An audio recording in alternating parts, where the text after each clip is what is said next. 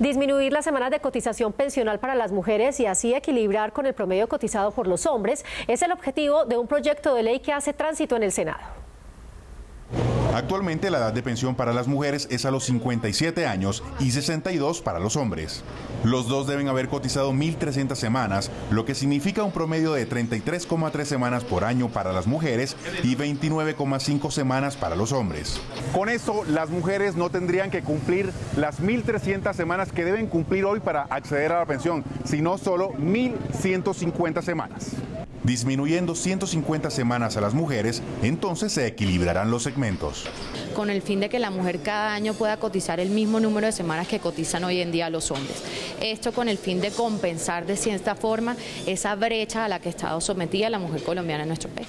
Ya uno le duele la pierna, le duele todo, ya no, no puede disfrutar la pensión.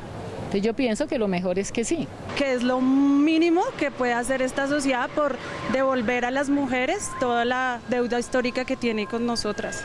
Me parece que la mujer tiene todo el derecho a que se le reconozca, antes eran mil semanas, que recupere un poco de esa identidad perdida. Esta iniciativa es autoría del presidente del Congreso, Mauricio Liscano, y espera su tercer debate próximamente en la Comisión Séptima de Senado.